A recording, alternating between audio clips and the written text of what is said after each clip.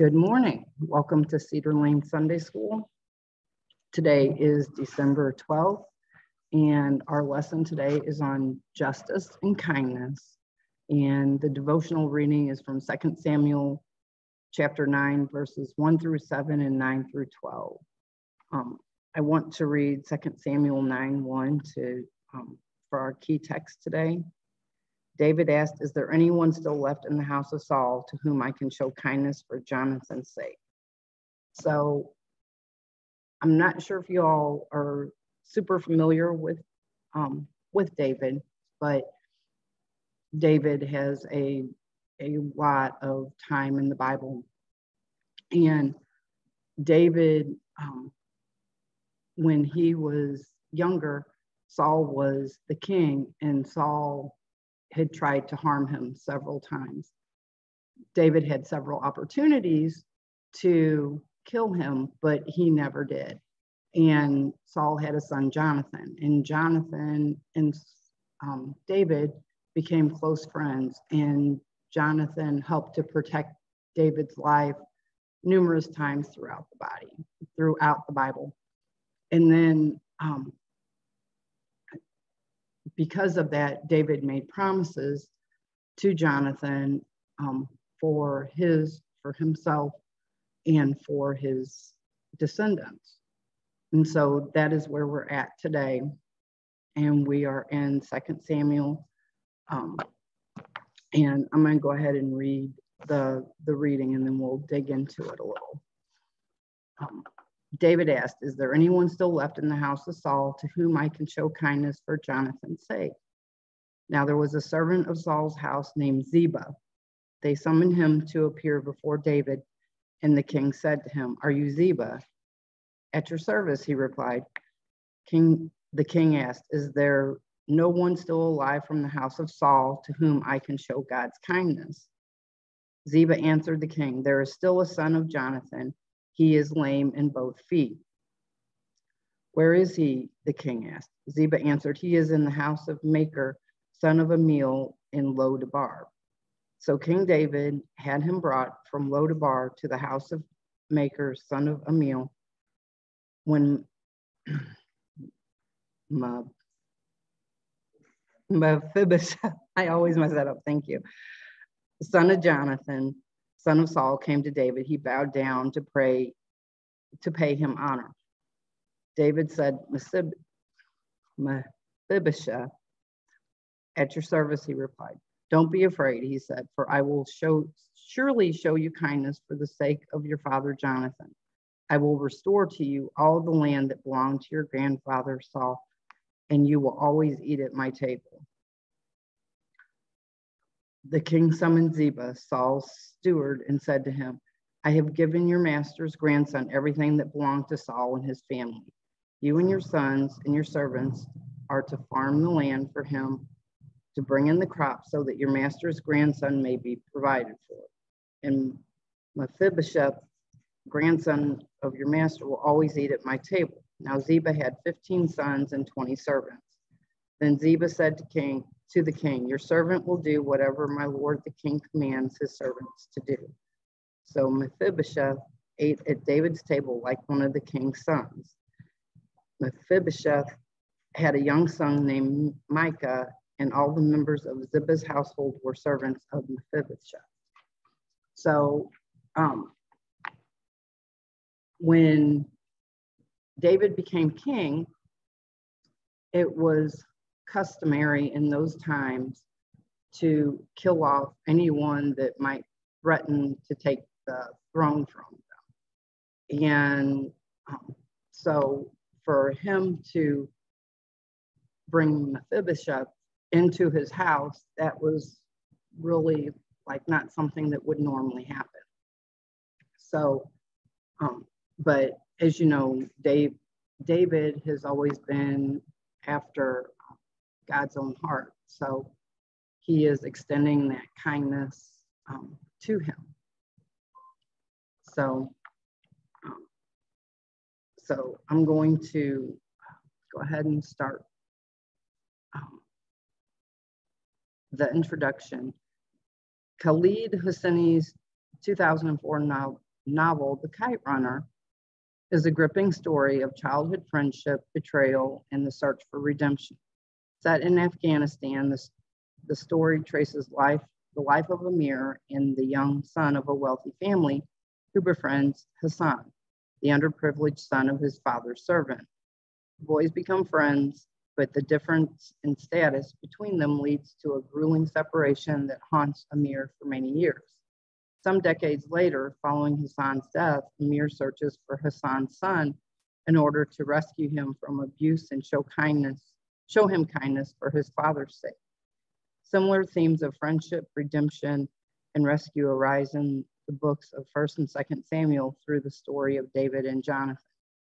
Long after he could no longer enjoy friendship with Jonathan, David remembered his promises and looked for the chance to show kindness to his friend's son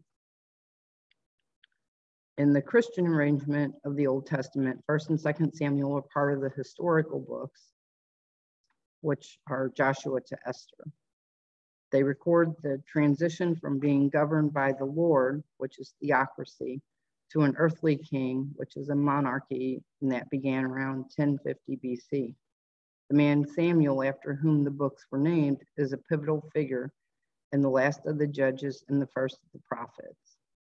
While Samuel was well respected throughout the land, his sons did not enjoy the same esteem. The Israelites, tired of the abuses of Samuel's sons, demanded that Samuel give them an earthly king like all the other nations. this flew in the face of God's desire for Israel to be a priestly, holy nation under his rule. But the Lord said, but the Lord did as they desired, choosing Saul to be king. But Saul did not faithfully carry out the Lord's commands. The Lord rejected Saul and had Samuel anoint David to be Saul's successor. Though Saul was initially fond of David and took him into his court, the king knew that David was chosen to succeed him, and he grew fearful and even murderous when David's renown started to surpass his own. Yet, for all of Saul's paranoid attacks on him, David consistently refused to harm or retaliate against Saul. In spite of his complicated interactions with Saul, David's most loyal and trusted friend was none other than Saul's oldest, oldest son, Jonathan. Their friendship resulted in a, co- a covenant that obliged both parties. Jonathan would protect and support David, while David pledged to show kindness to Jonathan's family material in first and second Samuel sometimes is arranged thematically rather than chronologically. So the relationship between events in David's life can be hard to determine. This was especially true of David's ordering the death of several of Saul's sons. It seems at first glance that the incident in 2 Samuel 21 must have occurred after our story, but it could also have been included in the later chapters of Second Samuel to fit with the other stories about David's fallibility. Clues from the surrounding material place in today's text is some 15 to 20 years after David began his reign in 1010 BC. David had spent much of his time solidifying his control as king over all Israel by defeating em- enemies both within and without example or within and without. Saul and Jonathan had been dead for some time. Another of Saul's sons, Ishbosheth, ruled in the northern tribes until his own death, at which time David began to rule over all of Israel. But the tribes had shown their preference for a descendant of Saul on the throne. In situations such as this one, it was often a top priority for a king for a new ruling family to kill off any members of the previous king's household, thereby, thereby eliminating any rivals. David had vowed against destroying Saul's house, both to Saul and to Jonathan. The circumstances of 2 Samuel did not constitute unfaithfulness to his oath. In spite of potential threats to his, to his rule, David determined to keep his promises and spare the lineage of his friend and former king. How could David not know whether anyone of Saul's household still lived. For one thing, he had been busy for, with wars, establish, establishing Jerusalem as his capital and trying to move the ark. How was he meant to keep track of who died in all those years? But the answer may be even simpler than that. Saul's family was hiding, knowing that David had been crowned king, first in Judah and then all over Israel.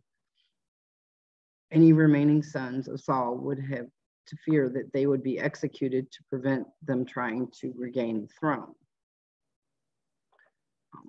And 1b, to whom can I show kindness for Jonathan's sake? Some have said that David's motives may have involved keeping his enemies close so as to make sure that they did not plot his overthrow. Or, sim- or similarly, he may have thought that being kind to Saul's family might score him political points with any remaining supporters of Saul's dynasty. Knowing that people rarely have pure motivations, it is possible that David valued both keeping potential usurpers close and scoring points with Saul's supporters, but his main motivation was neither of those things. David's pledge to Jonathan went so far as to ensure continual kindness to the same even after the Lord had cut off every one of David's enemies from the face of the earth. 2 Samuel 8 details David's military defeat and all of Israel's surrounding enemies. It is fitting that after we hear of David's enemies being cut off from the face of the earth, we hear his determination to find someone to care for Jonathan's sake. So I want to stop here for a few minutes. Um, so if you think back and you you understand the times, showing kindness, um, for a king to show kindness to someone that wasn't in his court, that was a big thing to begin with. And then for it to be someone that um, that could threaten his time on the throne, that was even even bigger. And he didn't do it just to keep his enemies close. He did it because he had made a promise to Jonathan all those years before. So, um, if we think about how maybe that can correlate with our lives today, um, we all have those people that we that we love when we enjoy being around. We, we all have those people that we're like, oh, not them again. so maybe we can um, be like David and show those people that are hard to be around extra kindness and um, and do it from the goodness of our hearts, not just doing it um, to keep our enemies close. So um, that's just kind of what really spoke to me this morning when I was reading. So um, this kindness often describes acts of loyalty or trustworthiness within the context of a promise. The same Hebrew word frequently translated is love when referring to God's actions within the covenant. Kindness like this is built into the character of God. Covenants were struck in situations where a power imbalance existed. At the time that David and Jonathan committed to their own to their own covenant, Jonathan was the heir to Saul's throne, and David was a soldier, albeit a very popular one. By the time David was looking for an opportunity to act on this covenant, Jonathan was dead, and David himself was king instead. David's adherence to the covenant years later depended solely on his faithfulness towards Jonathan. Not to spoil, not to um, any possible falling out of their friendship in verse 2. Now there was a servant of Saul's house named Ziba. They summoned him to appear before David. And the king said to him, Are you Ziba? At your service, he replied. Ziba held a very high position among the servants in Saul's household, even after Saul's death, demonstrated here by being the one called into David's presence. He was the manager of Saul's estate at this point and had become wealthy as a result. Other episodes affirmed Ziba's continued status. Ziba would be sure to know all about Saul's remaining descendants. Referring him, to himself at being at David's service identified Ziba as being loyal to David. This was important to establish if Ziba worried that David might take revenge on the house of Saul, despite the king's claim to want to be kind to someone in the family. However, David had shown time and time again that he did not desire to wipe out Saul's family or his soldiers. Um, in verse 3, the king asked, Is there no one still alive from the house of Saul to whom I can show kind, God's kindness? David restated his question now to a man who should have known the answer.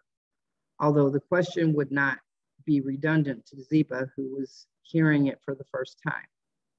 The repetition emphasizes for the reader of David's urgent desire, the slight difference of showing God's kindness rather than for Jonathan's sake recalls God's favor expressed through and as a result of his covenant with Israel. Um, and the second part of that verse, Ziba's knowledge. Ziba, Ziba answered the king, There is still a son of Jonathan. He is lame in both feet. The first mention of the son comes in passing um, note in 2 Samuel verse chapter 4, verse 4. He was five years old when Saul and Jonathan died in battle. At that time, his nurse fled with the boy, likely thinking that David would come to eliminate him. Unfortunately, though, the boy fell during the flight and suffered permanent crippling injuries. As Ziba spoke, that child would probably be in his early to mid 20s. Ziba did not mention the child's name in his reply to David, but it seems quick to have mentioned his disability. Maybe he knew David would immediately know which son Ziba was referring to. Perhaps he sought to reassure David that Jonathan's son was no threat so that David would not seek to kill him. Or perhaps he hoped that David would do exactly that, relieving Ziba of any obligation to provide for him. In verse 4, where is he? The king asked. Ziba answered, He is in the house of Makir, son of Ammiel, in Lodebar. Lodebar was a village east of the Jordan River in Gilead and associated with the associated with the tribe of Gad. It was located much closer to Ishbosheth's political center, Mahanaim, um, than to David's capital in Jerusalem. Although Makir, had probably been a supporter of Saul originally, we later learned that he supported David and his men during Absalom's revolt. The outcome of David's inquiry here may have changed the man's loyalties. Nothing is known about Makir's father, Ammiel. Um, and a promise um, fulfilled, which is in, um, we're going to start with verses five and six. So King David had him brought from Lodabar with the house of Makir, son of Ammiel. When Mephibosheth son of Jonathan, son of Saul, came to David, he bowed down to pay him honor. Mephibosheth immediately honored David and addressed him in the differential language appropriate to speaking to a king, echoing Ziba's words as a potential rival to the throne, being a son of Jonathan, who was the firstborn son of the dead King Saul. Mephibosheth must have felt the tension in this moment. Accordingly, his first aim was to assure David that he was not a threat to his throne. So if we think about um, Mephibosheth's state of mind, you know, here is this king that could just have you eliminated at the drop of a hat. So he had to be, you know, very unsure of going to see David because would kind of be like signing your own, could be like signing your own death certificate. But David um, truly did want to show him kindness. And as we learn that David did show him kindness um, for all of his days. So, excuse me. Uh, David's declaration um, verses 7, 9, and 10. Don't be afraid, David said to him, for I will surely show you kindness for the sake of your father Jonathan. I will restore you all the land that belonged to your grandfather Saul, and you will always eat at my table. So back then, whenever um, whenever you were king, you had large parcels of land. And then when Saul passed away and Jonathan passed away, those things, all that land no longer belonged to him. So David returning that land is also a really big deal because David could have kept that land for himself because he was the king. So um, that's just another way that he that God is um, that David is showing that he's you know has God's heart and he wants to extend this kindness by giving back all this land that um, that was taken from him initially. um, given the practice of familial annihilation discussed above, Mephibosheth may have expected to receive anything but kindness from David. But David's immediate offer and reassurance to Mephibosheth that he need not be afraid, David's summon was not, as it turns out, a ruse to flush Mephibosheth out of hiding. Instead, he wanted to show him kindness for the sake of his father in order to keep his covenant with Jonathan. Mephibosheth would eat at the king's table just as David had once eaten at Saul's table. And that itself is like a really big deal because to be invited to eat at the king's table was not something that was granted to anyone. You had to you had to be in an inner circle to be able to be invited to that table. And sometimes even the people that were in the inner, inner circle of the king were not invited to the table. So that, um, that is also a very significant part of the story. David's desire to restore to Mephibosheth the estate of his father suggests that David had gathered additional information beyond what is stated in the verses. Mephib- Mephibosheth, living in Lo-debar in, Makir- in Makir's house, makes it clear that he wasn't living on any of Saul's lands whether or not he was seeing any of the other benefit from the properties. Having had the land, having the land restored cemented that Mephibosheth could receive whatever wealth was to be made from his grandfather's holdings. Mephibosheth seemed sincerely and humbly grateful for David's kindness to him. Um, Mephibosheth, no doubt, knew of his father's friendship with David and probably heard stories of Jonathan's aid to David. Verse 9 The king summoned Ziba, Saul's steward, and said to him, I have given your master's grandson everything that belonged to Saul and his family.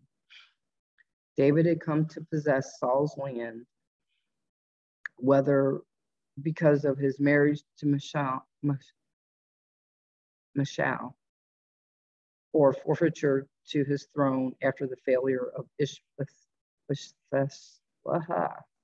Ishbosheth's brief reign. And I know I really screwed that By returning to Saul's property to Jonathan's son, David executed not only kindness, but also restorative justice. Perhaps Ziba had taken advantage of Mephibosheth's disabled condition and commandeered Saul's estate for himself. His motives are not analyzed here, but later events suggest that this would be in character for the steward. Um, verse 10a, you, you and your sons and your servants are to farm the land for him and bring in the crops so that your master's grandson may be provided for. And Mephibosheth, grandson of your master, will always eat at my table. Although Mephibosheth would eat at in David's house, the land would provide for the rest of his family and for the servants supported through their own work.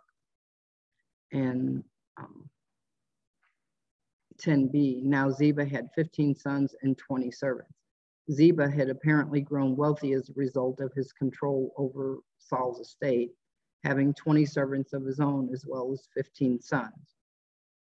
his work on the land would continue to support his own household as well as Mephibosheth. And verses 11 and 12. Then Ziba said to the king, Your servant will do whatever my lord the king commands his servants to do. Once again, Ziba emphasized his loyalty to David, calling himself his servant twice.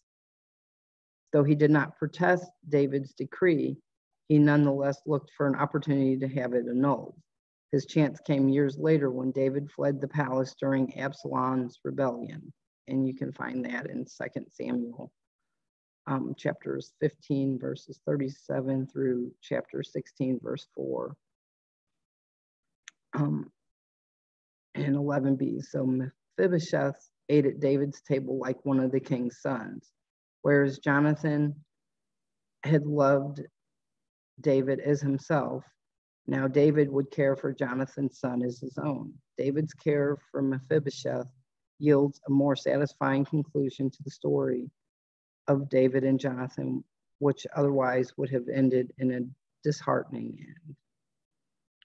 Um, and verse 12 Mephibosheth had a young son named Micah, and all the members of Ziba's household were servants of Mephibosheth. Jonathan's grandson Micah would carry on the family, though one might expect David's sons to have some feelings about Mephibosheth's new role in their family. No hostilities between them are noted here or elsewhere. So, um, so whenever you um, whenever you read Old Testament stuff, it can be really hard to understand because the times were different and the way they did things were different from the way we do things now. Um, but it's really, I always find it really interesting to read the Old Testament and just stop and think about how they did do things back then and how the um, just the hierarchy, you know, the the king, when a king had a son, then that son knew someday he was going to be king and he was going to inherit all the wealth that the king had. So if you think about that, like in today's terms, if you have a wealthy parent and his children may feel like, well, I'm going to inherit all this wealth when that person dies. And not that that's a great thing to think, but honestly, in today's world and the way a lot of people are so self centered, that is the way a lot of people think instead of um, thinking about how they can show kindness to others and um, and follow God's heart. So um, I think that whenever we're reading in the Old Testament, we really have to just stop and and realize how different it is. Because I know when I first started really reading and studying the Old Testament, I was really like, I don't even think this is going to make sense because things were so different back then. But as I've studied and I've learned, I've really come to realize that even though times are different now and we don't have a king and you know our political society is different. Um, a lot of things are, you know, can really correlate between Old Testament times and current current day times. So I hope that everybody can, you know, even if it's not about wealth, but just showing kindness to to other people. Like I said, maybe even those people that just you really don't want to show kindness to, but maybe you can follow God's heart and show those people kindness. So um, I have not seen the timer pop up yet, but I'm sure we're close.